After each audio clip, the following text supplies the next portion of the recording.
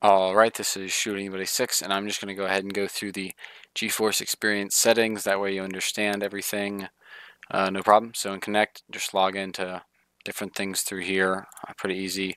HUD layout, you have camera, you can do where you want it, status, all these other things, pretty simple. Uh, keyboard shortcuts, change them in here, or bind them, or however you'd like uh, recordings. This just tells you where tempor temporary files and where the actual recordings will go. So you can change it as you see I have it not on my Windows disk but to another hard drive. Uh, broadcast live. So this lets you turn it on, gives you destination. Whenever you broadcast live it also gives you the option of where you want to go and then these settings down here. Whenever you're broadcasting live, I personally really like to do, I mean, you know, being crazy. If you know your computer can't support it, um, dropping that down, dropping the frames per second down, all that works. And then uh, for Twitch, I do 7 megabytes per second. My network is pretty solid overall and can do that.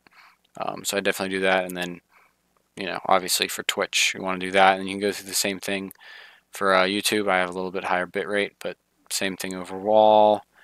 And I don't stream to Facebook, but, you know, same thing. Go ahead and mess with settings. And then we're going to go to highlights. This just lets you know if you can, if they can use uh, ShadowPlay for highlights, like PUBG and stuff has the automatic, uh, you know, pulling highlights and stuff. And if you don't access them, they'll automatically be deleted.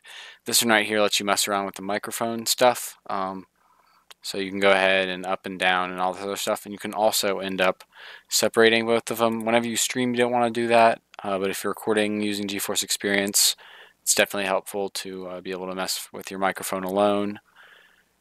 Um, coming down even further, this right here, um, once again, just overall settings. This is what actually is video capture. So whenever you're recording to your desktop, not streaming, this is what you're going to end up getting. And I hit that all the way up 50 megabytes per second, uh, 1080p, 60 FPS.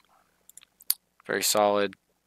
Notifications, uh, that's fine. I don't really mess with that. Privacy control, I do allow it to uh, view my desktop.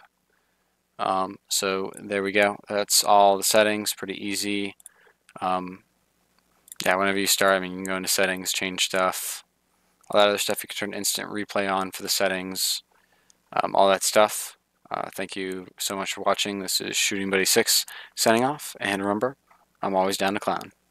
Thanks.